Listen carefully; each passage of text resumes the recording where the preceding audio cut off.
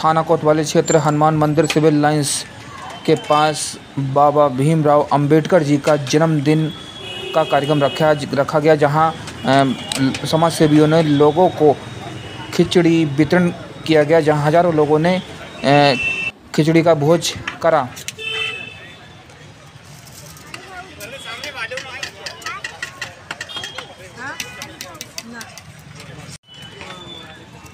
चौदह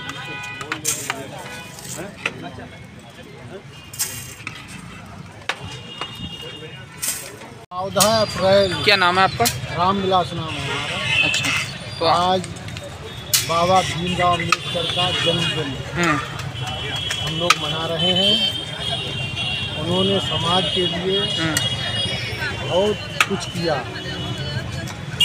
सभी के लिए किया। एक एक व्यक्ति के लिए नहीं किया।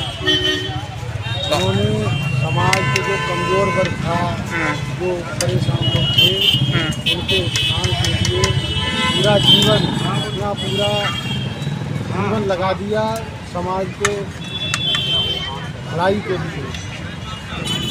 और अपने बच्चों तक की परवाह ना करते हुए पूरे जीवन भर समाज के ही लिए ही संघर्ष करते हैं। तो आज आप यहाँ इनके मतलब जन्मदिन की जन्म- में आज हम लोग यहाँ खिचड़ी वितरण कर रहे हैं। अच्छा कहाँ पे? ये हनुमान मंदिर के पास हम- के सामने। अच्छा अच्छा। सिविल लाइन हनुमान मंदिर के पास में। और बाबा- बाबा बाबा साहब भीमराव अंबेडकर जी का जन्मदिन है। हाँ। और हम लोग खिचड़ी वितरण कर रहे हैं। हम्म, और मैं अपना नाम बता दूँ मेरा नाम सूर्य प्रकाश शर्मा है। हम्म, तो बाबा साहब भीमराव अंबेडकर ने किसी एक जाति विशेष के लिए नहीं हम्म। पूरे देश के लिए सर्व समाज के लिए सभी जातियों के लिए सभी धर्मों के लिए संविधान का निर्माण किया जिससे कि देश सुचारू रूप से चल सके। कुछ लोग कहते हैं कि बाबा साहब अंबेडकर ने सिर्फ़ कुछ एक वर्ग के लिए किया लेकिन ये गलत है। बाबा साहब भीमराव अंबेडकर हमेशा सर्वधर्म संभाव का भाव लेके चले और उन्होंने सारे वर्गों के साथ अच्छा किया उनके लिए नियम बनाए कानून बनाए जिसका उल्लेख संविधान में किया गया है। खुशी खुशी में आज हम लोग खिचड़ी वितरण कर रहे हैं।